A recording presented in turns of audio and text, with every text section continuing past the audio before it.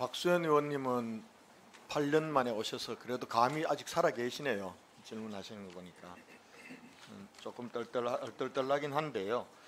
어, 지금 최상병 사망 사건과 관련해서는 두 가지가 사실은 쟁점입니다. 하나는 우리 고 최상병이 저렇게 억울하게 죽음으로 가게 된 그 실체적 진실을 규명하고 다시는 우리가 그런 장병들이 나오지 않도록 하는 것이 그것이 첫 번째고요. 어떤 면에서는 그게 더 중요한지도 모릅니다. 두 번째가 이 과정에서 수사 과정에서 진실을 규명하는 과정에서 정말 외압이 있었는지 이걸 규명하는 두 가지입니다. 그런데 지금 첫 번째 본질에 해당되는 부분은 지금 온데간데 없어요. 온데간데 없고 그리고 외압 의혹에 대해서만 지금 계속해서 소설 같은 얘기들이 마치 사실인 것처럼 그렇게 얘기되고 있어서 사실 국민들께서도 굉장히 혼란할 거라고 생각합니다. 지금 비서실장님, 네네. 지금 이 최상병 고 최상병 사망 사건과 관련된 사망에 이르게 된 경위 진실을 밝히는 수사도 진행되고 있지 않습니까? 그렇습니다. 어디에서 지금, 진행하고 있죠, 이거는? 지금 과실치사 부분은 경찰에서 하고 있고 예. 외압 부분은 공수처에서 하고 있는 것으로 이해하고 있습니다. 그렇습니다. 어쨌든 이번 사건의 본질, 최상병 사건의 본질은 국방부 장관의 정당한 이첩 보류 지시 명령을 박정훈 수사단장이 어긴 항명 사건이 그 실체이고 본질이라고 말씀드리고 있고 그 그렇기 때문에 그 사건이 지금 기소돼서 재판에 지금 진행 중에 있다 이렇게 말씀드릴 수 있습니다. 예. 그 지금 야당에서는 특검 아니면은 진상 규명이 안 되는 걸로 지금 얘기를 계속 합니다. 네.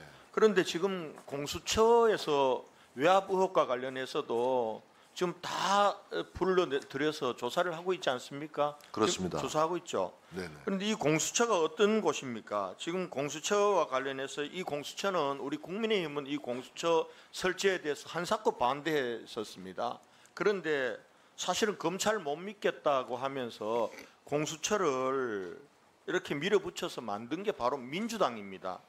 자, 몇 가지만 발언들 말씀드릴게요. 공수처 설치는 지난날 권력 편에 서서 무소불위의 칼날을 휘둘러 온 검찰을 바로 세워야 한다는 의지가 담겨 있는 것이다.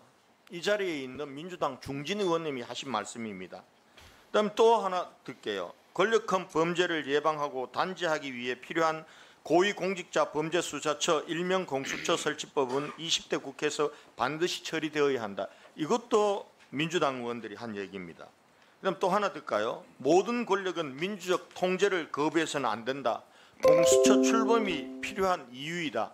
이젤에 있는 민주당 재선 의원님이 말씀하십니다. 이렇게 해서 공수처가 발족이 되고 지금 공수처에서 수사를 하고 있잖아요. 그런데 이것도 못 믿겠다. 특검으로 가자.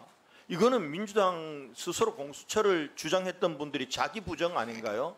그러면 차라리 공수처 우리가 제대로 수사할 줄 알고 만들었는데 꽝이더라. 그럼 공수처 해체하자.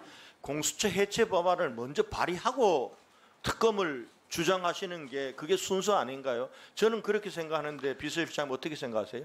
그 공수처 자체가 상설 특검 성격을 지닌 수사기관이라고 어, 정의할 수 있겠습니다. 따라서 어, 특검 공수처 수사가 진행 중인 상황에서 어, 특검이 도입되면 그 즉시 공수처는 모든 수사권을 특검에게 넘겨야 되는 상황이기 때문에 상설 특검인 공수처 위에 또 다른 특검이 오는 옥상 옥의 모양을 어, 피할 수 없는 어, 그런 상황이 됩니다. 따라서 어, 지금 공수처와 경찰이 강도 높은 수사를 진행 중인 만큼 그 수사 결과를 일단 지켜보고 난 뒤에 미흡하고 미진하다고 판단되면 그때 가서 특검을 발의해도 어, 늦지 않다. 저는 이런 생각을 가지고 있습니다.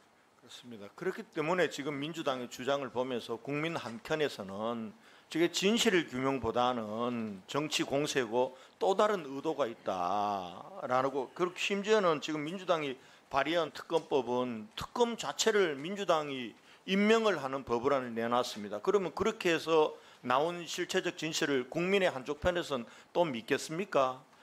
그런 면에서 실장님 지금 실장님께서 말씀하셨듯이 공수처 수사가 조금이라도 미진하다라고 하면은 특검으로 가야 된다는 게 특검을 완전히 배제하거나 거부하는 건 아니죠. 그 여야 합의에 의해서 특검법이 성안돼야 된다라는 것이 기본 입장입니다. 왜냐하면 수사와 소추는 행정권의 행정부의 권한에 속하는 것입니다. 행정부의 수반은 대통령입니다. 따라서 야당만의 추천으로 이루어진 특검 임명 절차는 대통령의 공무원 임명권을 훼손하고 박탈하는 것이기 때문에 이것은 권력 분립의 원칙에 어긋납니다. 그래서 제2요구권을 행사하게 된 것입니다. 이것이 위헌 소지가 있다라고 판단되는 법안은 대통령은 당연히 거부권 행사, 제2요구권을 행사해야 합니다. 제2요구권은 행정부의 수반인 대통령이 갖고 있는 권한인 동시에 의무입니다. 책무입니다.